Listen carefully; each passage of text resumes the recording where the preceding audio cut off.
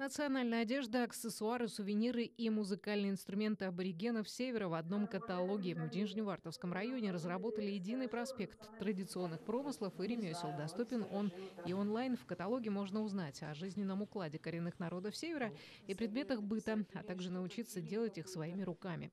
В сборнике 19 техник, в том числе редкие и почти ушедшие из обихода по изготовлению национальных музыкальных инструментов, постройки лабаза, изготовления изделий из бересты, меха, бисера, дерева и кости. Выпуск каталога приурочили к 90-летию Югры. Задумку реализовали на гранд губернатора. Уже сейчас каталог доступен на сайте администрации Нижневартовского района.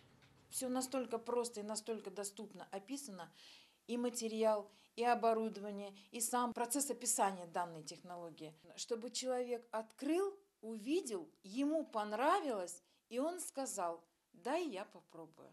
174 мастера на сегодняшний день в Нижневартовском районе. Вот все 174 мастера помогали, и еще плюс все подмастерья, которые есть.